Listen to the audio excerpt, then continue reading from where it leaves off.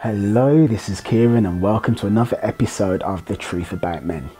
Now, I am sure that every woman watching me right now has had a situation happen where you've been at a bar or a club with your friends and you're having fun, you're dancing, whatever, and there's a man stood 20 feet away and he's looking at you specifically.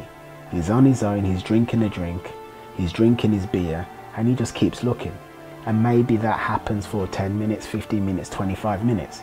He never walks over, but he keeps staring. And it's really creepy, isn't it? It's creepy as all hell.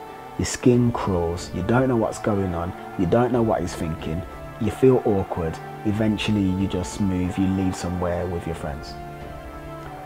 What I'm here to talk about today is what is usually going on in the man's mind in that situation because it might surprise you. Fundamentally, it's like this. As a man, if we are going to get with a, a woman, we need to make the first move, by and large. 95 times out of 100, 99 times out of 100, it's the man who makes the first move.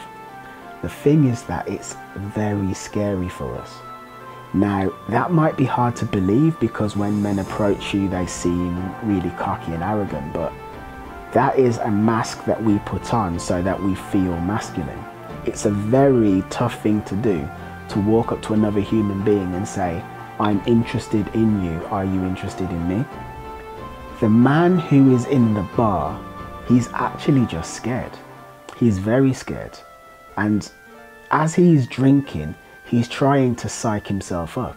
He's trying to psych himself up to give himself the confidence to actually approach what you might be thinking of it as is like, yeah, yeah, or something.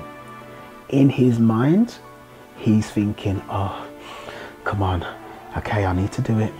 I need to do it. Come on, you can do it. You can do it. Come on, come on, come on, come on. You can do it. Come on. Don't be don't be such a wimp. Come on. That's the kind of thing that's going on.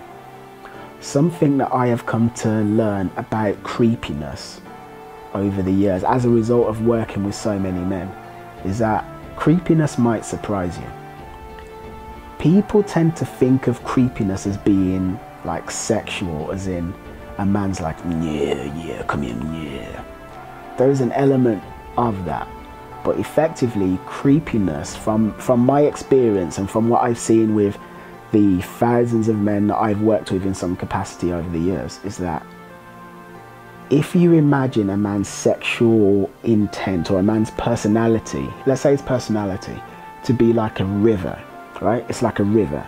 And if you imagine that that river is going to have water flowing in one direction, creepiness arises when there's a blockage in that river or when there's like competing forces you know the water in the river is going in two opposite directions.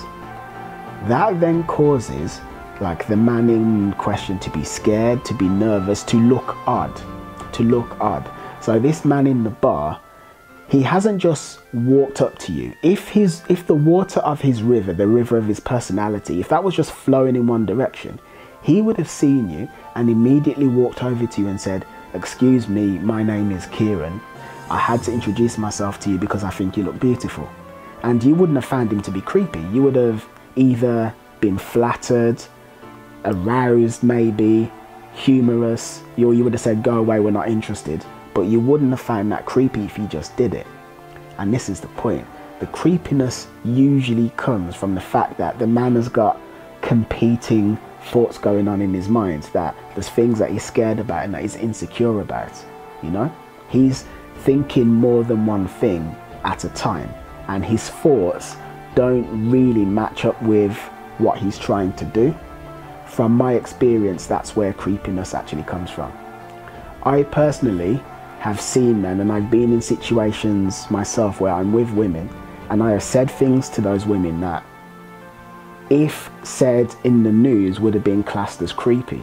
But because it came from a genuine and authentic place as I said it, and I wasn't masking anything, it wasn't perceived as creepy in the moment. So that is all I want to say about um, creepiness, or at least about that specific expression of creepiness. If you have any questions, then let me know. If you disagree with what I said, then let me know. But I am Kieren. This has been an episode of The Truth About Men. Thank you for watching. Please do slam the notification bell. Well, subscribe first, but also slam that bell because if not, then you won't be notified when I make new videos. Take care, see you later, toodaloo, au revoir, and arrivederci.